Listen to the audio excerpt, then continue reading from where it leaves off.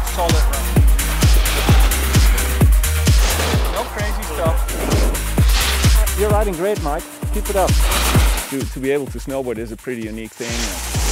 I just really like to be in the mountains. I think the mountains are beautiful and I like sports and I specifically like speed. Hi, I'm Thedo Remmelink. I'm the snowboard racing head coach for the Steamboat Springs Winter Sports Club. I came to Steamboat in uh, 2002 after I coached Slovenia on the World Cup. Yeah, I've really liked it uh, in Steamboat ever since. And the Steamboat Springs Winter Sports Club is a solid organization. It's very nice to, to work for. We've had good success on the NORAM and World Cups and Olympics as well. Red ready. But you need to focus on your own run. Well, I have a vision of what would be good for the sport in the US.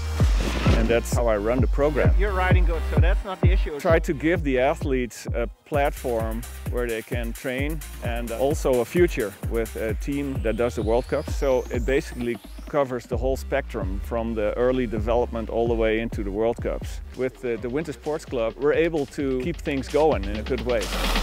On the outside you see success from athletes, which is great, but my work is mainly on a day-to-day -day basis where I just go on the hill and uh, train with athletes and work on, on little things to make them better. And we're having fun with it. You get extra style points for dropping and switch?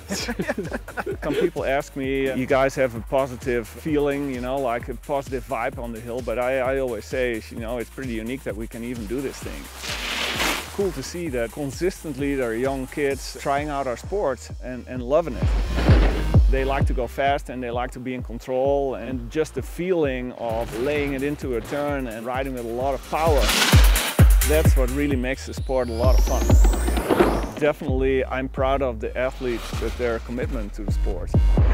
Athletes are facing maybe their own demons and obstacles. They try to overcome it and become their own hero in the most positive sense. And for some people that might be winning a World Cup and for some other people that might be gaining more confidence for life. I'm there all the way.